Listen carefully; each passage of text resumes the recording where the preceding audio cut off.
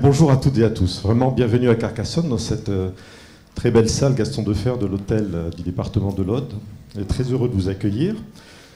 Nous accueillir nombreux à l'invitation de l'URAF Occitanie et de l'UDAF de l'Aude. Je salue le lycée Marie Curie de Tarbes. Je crois que les élèves euh, du lycée qui sont là dans la salle.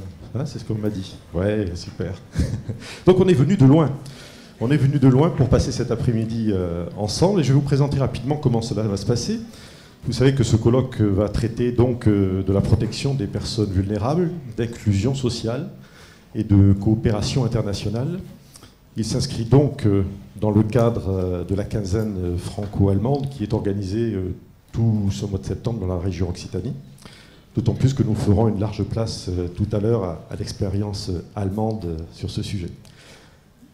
Et donc ce sujet de la protection des personnes vulnérables est tout combien d'actualité, puisqu'il fait l'objet de réflexions, de travaux, aussi bien à l'échelle locale, nous le verrons, nationale, mais aussi internationale. Je vous rappelle euh, que c'est en 2006, je crois, hein, si je ne dis pas de bêtises, que la Convention des Nations Unies relative aux droits des personnes handicapées a énoncé des valeurs, des recommandations qui devraient en principe modifier euh, l'approche de nos pratiques, euh, l'approche euh, de nos législations. Et on verra un petit peu comment cela s'est ou non encore articulé. Et c'est pour ça que nous allons essayer, cet après-midi, c'est un peu court, mais d'appréhender tous les angles de ce sujet. Alors dans un premier temps, nous allons faire un état des lieux de la situation locale, ici en, région et dans le département, avec les responsables des directions régionales et départementales de la cohésion sociale, ainsi que du pôle solidarité du conseil départemental. Nous évoquerons avec eux le schéma régional de protection des majeurs, avec euh, ses moyens et, ses objectifs. Et puis, très très vite, nous allons euh, élargir notre, notre réflexion grâce à deux invités exceptionnels. Tout d'abord, Madame le juge Maria Mamri Latzel. Bonjour, Madame. Vous êtes l'une des magistrats les plus influentes en Allemagne et en Europe sur ce sujet. Tant pis pour votre modestie. Vous nous expliquerez comment le système allemand est organisé, euh, puisqu'il a adopté une, mesure unique, le Betrung, vous le prononcerez mieux que moi tout à l'heure. C'est une mesure d'assistance qui se rapproche peut-être de notre curatelle. Enfin, je ne suis pas assez expert, vous nous expliquerez tout ça tout à l'heure. Vous nous ferez un retour euh, d'expérience de ce dispositif et vous nous livrerez vos réflexions euh, aussi à partir de votre expérience personnelle, puisque vous êtes juge des tutelles, je crois, depuis 1996.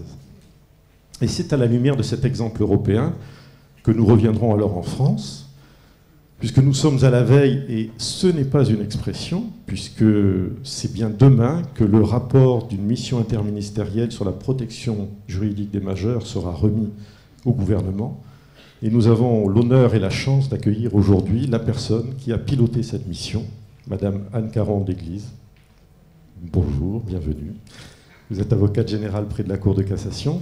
Et tout comme sa consoeur allemande, elle fait autorité sur ce sujet.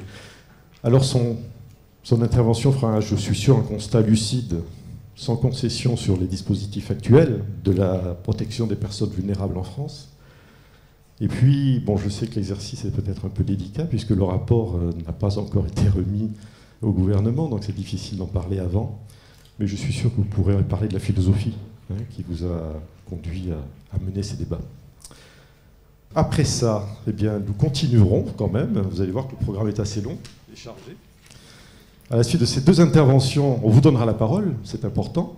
Donc nous aurons 15 euh, minutes, 20 minutes pour échanger. Là, je compte sur vous. Hein. Je sais que ces évolutions qui se profilent euh, ne manquent pas de générer certainement des espoirs, mais aussi peut-être des inquiétudes, que vous soyez professionnel, bénévole, euh, institution ou bénéficiaire. Donc vous pourrez converser avec nos invités. Vous aurez des micros qui seront dans la salle. Vous pourrez poser toutes vos questions à ce moment-là. Et je sais que c'est une séquence qu'ils attendent avec impatience. Et puis ensuite, on essaiera de dessiner peut-être un avenir possible pour la protection des, personnes vulnérables avec, euh, encore une fois, la coopération internationale avec euh, des projets Erasmus. Nous verrons comment euh, l'URAF Occitanie, avec Stéphane Michelin, le directeur du MUNAF du Tarn-et-Garonne, a monté un projet de, coopération et nous aurons le plaisir d'accueillir euh, Joseph Maria Solé Chavero, qui est directeur de la Fondation tutélaire de Gérone, Luis Maroyo, qui est directeur général de Campus Arnaud d'Escala, qui, dans la province de Gérone, ben, sont pionniers en la matière. Ils sont pionniers parce qu'ils ont essayé déjà d'harmoniser leurs pratiques en essayant d'être au plus près des recommandations de cette fameuse, Convention des Nations Unies. Donc ce sera très intéressant de voir que tout ce que l'on discute, tout ce que l'on imagine, tout ce que l'on réfléchit, peut déjà commencer à trouver une concrétisation sur le terrain. Voilà, il sera bientôt alors pour Madame Marie-André Blanc, présidente de, l'UNAF, de, clôturer ce colloque et de nous dire un petit peu euh, ce qu'elle en a pensé, nous donner ses impressions. Un dernier point quand même, vous voyez qu'il y a des caméras tout autour de la salle. Ce colloque est entièrement filmé par euh, Stéphane Kowalczyk qui le réalise. Euh, c'est intéressant parce que vous pourrez le revoir. Vous pourrez le revoir sur le blog que l'URAF Occitanie a créé spécialement pour cet événement. Vous pourrez le revoir, le partager. Et puis surtout, vous pourrez aussi continuer à, à l'enrichir de vos réflexions et de vos questions. On ne pourra pas peut-être répondre à toutes vos questions aujourd'hui, mais vous pourrez continuer grâce à ce blog eh bien, à les poser. Nous les transmettrons aux interlocuteurs qui seront là aujourd'hui et nous pourrons comme ça, comme ça enrichir le débat encore et le prolonger dans le temps. Vous avez des petites affiches sur le coin, sur, les bords des piliers, avec un petit logo, un QR code. Si vous avez un, smartphone, il suffit de, flasher le QR code et vous êtes directement en lien avec le, avec le site pour pouvoir revoir voir ces images et ces interviews.